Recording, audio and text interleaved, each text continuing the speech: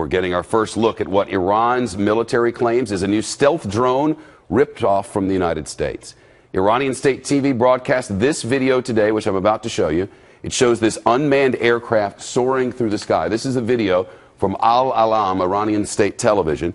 The official with the Revolutionary Guard there says that the elite military unit built the drone using secrets that it uncovered from the American drone that it captured. So they're not very good at videoing, I'll tell you that. He claims they deciphered, they deciphered the U.S. technology and made it all better.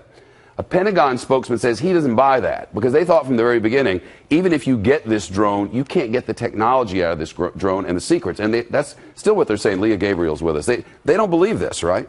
Well, Shep, as you know, I came from the intelligence community, and my take is this: you know, I can buy a fake Rolex or a Folex on the street somewhere for 30 bucks, but the quality, just not the same. But here, take a look. This is what they claim to have copied and improved. This U.S. Sentinel was allegedly captured in Iran in 2011. Iran's military claims that they were able to decode the onboard information and reverse engineer the drone.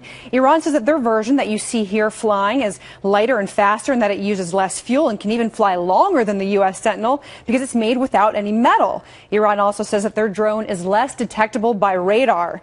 Well, today, the head of Iran's Revolutionary Guard poked fun at the U.S., saying, quote, the mini stroke Americans suffered will be complete by watching this uh-huh. footage. A Pentagon spokesman dismissed Iran's claim, saying replica is the operative word, and there is no way this matches American technology. Well, Iran says that it will build two to three more of these drones by the end of March, and that it plans to mass produce them next year. You know, Shep, I mentioned that the U.S. drone that they copied, or as you put it, ripped off, is called the Sentinel. Well, maybe Iran will call this the fentanyl. Maybe they will, because it is phony, isn't it? Yes. Yeah.